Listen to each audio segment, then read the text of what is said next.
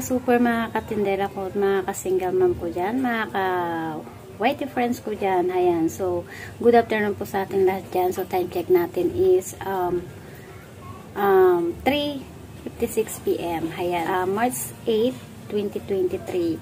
Ayan. So, uh, for today's vlog guys, share natin yung about sa ating mantika. Kung paano nga ba mapalaki yung kita natin sa ating mga mantika. ba diba? Pag uh, buti-buti lang yung uh, mantika natin, pag binenta natin siya ng per bottle, 'di ba napakaliit lang kung tutuusin tubo natin. So pinakamalaki ng tutubuin natin doon is 5 pesos. Minsan nga yung ibang mga kasari natin diyan, so sobra talagang binababa nila yung mga presyo nila para siyempre maging fast moving sa kanila nga naman yung mantika. Ayan, so uh, meron din kasi sa akin na nag-PM uh, siguro last week pa yun. So, isang kasari ko na baguhan. So, ayaw na lang niyang magpa-mention sa, magpa-mention sa aking vlog. Kasi sabi ko sa kanya, iba-vlog ko yung tanong niya. So, nag-PM siya sa akin doon sa Katis Vlogs ko, doon sa FB page ko. So, subscribe, nakasubscribe daw siya sa akin. Tapos, uh, sil always silent viewer. So, ang tanong niya sa akin kung sis, sabi niya, sis Kasari, magkano ba yung tinutubo mo, sabi niya sa mantika? So, nag-reply ako dun sa tanong niyang yon Tapos sabi niya sa akin kung ano daw bang diskarte ko. Kung paano ko raw mapalaki yung kita sa aking mantika. Sabi ko naman sa kanya meron akong vlog about dito sa aking mantika last year.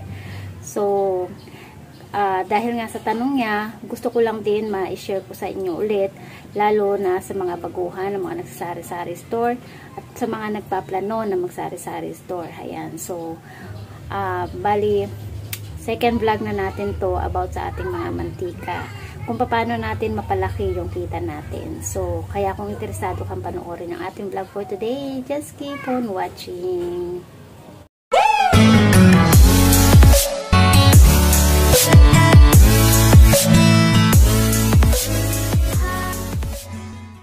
Tapos ko lang guys mag-repack ng ating mga mantika. So ganito kasi yung style ko na na-share ko na rin dati ito sa vlog ko na bumibili ako ng mantika per 1.5.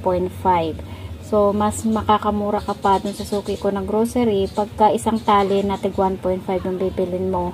Mas may discount pa yon. So sabihin na natin guys yung mantika ngayon na 1.5 kung per bottle na 1.5 is 120.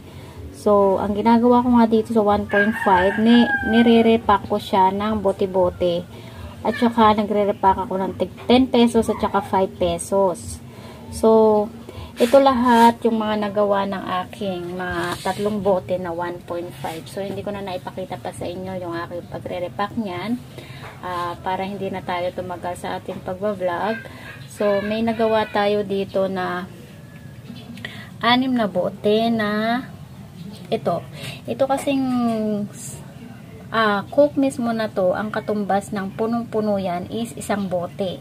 So, dahil yung isa dyan is bote ng cobra yan, ang katumbas niyan, kaya hindi siya puno guys, isang bote pa rin yan. Kasi taka, takal na takal ko na yan doon sa bote ng uh, gin bilog. So, ang bentahan ko guys ng isang bote ng mantika is 40 pesos dito sa akin sari-sari store. Tapos, ito yung mga nagawa natin sa mga tigkakalahati. Ayan. Tigkakalahating bote yan. Yung mga nandiyan na mga maliliit na nasa uh, pinaglagyan ng mga soft drinks. Ayan. Uh, ah, 20 pesos naman yung bentahan ko sa kalahating bote ng mantika. So, para pag may bumili sa akin dito sa akin tindahan, kung bibili ng kalahati, hindi na kailangan magsalin-salin pa. So, meron na agad ako na uh, nakahanda na kalahati. Ayan. So, meron din ako dun sa naka, nakahanda rin na 10 pesos saka 5 pesos sa mga mantika. Ayan. So, dito, sa 40 pesos, ang kalabasan ng 40 pesos times 6, dahil anim na bote yung nagawa ko, lahat dun sa tatlong 1.5 na mantika, uh, 200, um, 240. So, tapos itong nagawa ng mga tigkakalahating mantika na to na 20 pesos, 16 pieces. So, i-compute natin siya sa 20 pesos times 16. So, 320 yung kalabasan niya. So, lahat-lahat, ibig sabihin itong tatlong 1.5 po na nagawa niya is 560. So, i-minus. So, hayun, may bumili lang. So, nasa na ba tayo? So, yung 560 guys, minus mo yung uh, yung per bottle ng 1.5 na to. So, 120 each. Kung bibilin mo siya ng per bottle dito sa amin, 120. Ang isang 1.5 na mantika. So, tatlo yan, kaya 360. So, 560 guys, minus dun sa puhunan ng 1.5 natin na tatlong bote, 360, equals 200. So, may tubo tayo na 200 sa tatlong 1.5 na ito. ba? Diba? Compare mo naman talaga guys, pag bibili ka ng mantika dito sa amin, ang per bottle is 35 pesos ang isang bote. So, mer kung papatung kung gagawin mo siyang 40 pesos each, 'di ba? Meron ka lang 5 pesos each. 'Di ba? Ang nagagawa kasi guys ng isang 1.5 na bote ng mantika, ang nagagawa niya is apat na bote. So, 'di ba? Uh, i-compute mo siya dun sa apat na bote na 1.5 uh, 40 times 4 equals 160. Tama ba ako? 160. So, may tubo ka sa 1.5 na 60 pe ah, 40 pesos. 'Di ba? Kasi yung 1.5 120. So, pag nirepack mo siya ng per bottle is apat yung kalabasan niya, apat na bote. So, 'di ba may tubo ka ng 40 pesos. Unlike kung sa apat na piraso na bibilhin mo ng mantika, 20 pesos lang yung tubo mo, 'di ba? So, bali kalahati rin yung ano, 20 pesos din yung tut, uh, karagdagan na tutubuin mo. Compare mo pag bibili ka talaga ng 1.5 na ire-repack mo, 'di ba? Dito naman guys sa mga repack ko, yung mga tingi-tingi ko ng mantika na tig 5 pesos, ayan 5 pesos itong mga nasa pitcher, then 10 pesos naman yung nandun. So mas konti yung nire-repack ko na 10 pesos kasi mas fast moving sa akin yung 5 pesos. So uh, titingnan natin ngayon kung magkan uh, kung ilan ilan ba at magkano yung tutubuin natin doon sa isang 1.5 natin na mantika para may pakita ko sa inyo kung alin ba talaga may compare nyo kung alin ang mas malaking tubo yung na nirepack natin na per bottle or yung repack na tig 5 pesos at saka 10 pesos. Tara guys, samahan nyo ako mag-repack ng ating mga mantika. Ito guys yung ating mga ginagamit para sa pantakal ng 5 pesos at saka 10 pesos. So, ito guys, magkasinsukat lang sila yung ginagamit na tagayan sa mga manginginom, ba diba? Yung mga tanggero, tanggera, ayan yung ginagamit nila. Tapos, ito, magkasinsukat lang yan sila dito sa ta tagayan na yan. Ito yung uh, ginagamit naman sa para sa mga gamot, 'di ba, sa mga bata. Ayan yung ginagamit nila. So magkasinsukat lang yan, guys, kasi nasukat ko na rin yan dati pa.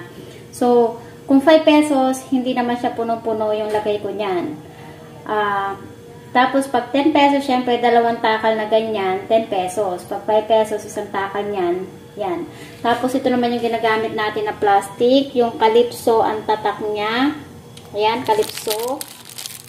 Calypso. Tapos, ah, Calypso ice bag. Tapos, yung size niya is 1.5 by 10. Ayan. So, maganda itong plastic na to guys kasi wala pa ako nabutas na ganitong plastic na ginamit ko. Sa pool na ako yung nagre-repack ng mga mantika, toyo, suka, sukal yan. So, meron tayong natira dito doon sa isang plastic na nabuksan natin, hindi na natin maibalik. Ayan yung mga kalat-kalat na yan. So, tapos meron pa tayong natitira na isang 1.5 na mantika na hindi pa natin na i-repack. So, dito ako sa kusina magre-repack guys kasi dito ako palagi nagre-repack. Pag ako nagre-repack ng mga mantika, toyo, dito talaga ako nagre-repack sa kusina, sa, sa gilid ng lababo ko. So, ayan guys, let's start! So, ito nga pala guys, ang ating dami ng takal natin sa 5 pesos. So, hindi lang siya punong-puno pero marami na rin naman yan siya. Ayan, so bago tayo magsimula, so papakita ko lang sa inyo kung gaano karami yung 5 pesos ko. Ayan, so tara na guys ulit, magsimula na tayo. Deep in the shadows, I know it's hard to put one foot in front of the other. Ah, so far is the echo, When do we start? You can learn to discover a million stars. Here in the shadows, I know you're scared. Take my hand together, we'll make a stand. We've got to fight to find a way. Dare to find out what to say. No more hate. Just admit that you're just afraid.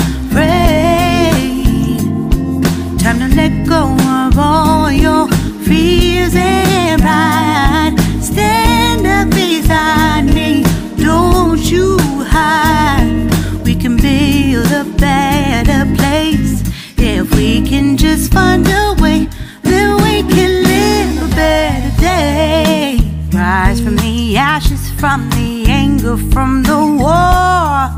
Let's come together, lift your spirit for the cause. We should be equal, should be living free. All together, one and all, let's build a dream.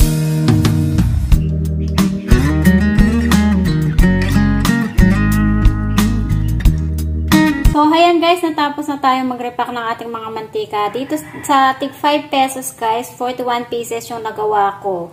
So, dapat is 40 pieces lang yung gagawin ko, kaya lang nasobrahan ako ng isa. So, sa 41 pieces, meron tayong 205. Tapos, dito sa tig 10 pieces, 7 pieces yung nagawa ko. Tama ba?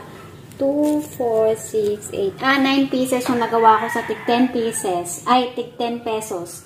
So, bali lahat ito guys, yung sa, uh, tapos meron pa pala tayo dito natitira na konti. Ilalagay ko na doon sa panggamit natin dito sa kusina ito. Kasi sobrang konti na yung ating gagamitin dito sa kusina. ba diba? So, uh, bali lahat ito guys, yung total niya, 90 pesos na tig 10 pesos plus 205. So, meron tayong 295 lahat doon sa ating 1.5 na mantika. ba napakalaki yung tubo niya?